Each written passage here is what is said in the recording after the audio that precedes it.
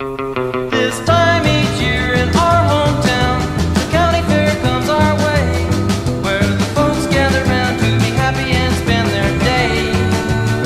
Uh, here's what happened now, I soon decided that I'd take with me the most girl I knew. I had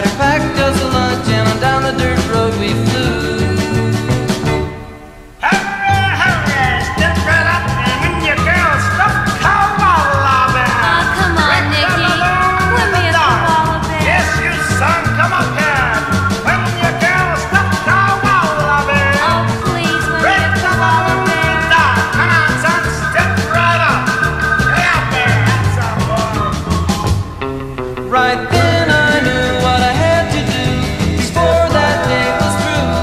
I had to win a stuffed or I'd break your poor heart in two. Uh, let me tell you now, I passed up a chance when I walked by a booth where you a dart and break a balloon. I snuck by a couple more, but I had to get caught real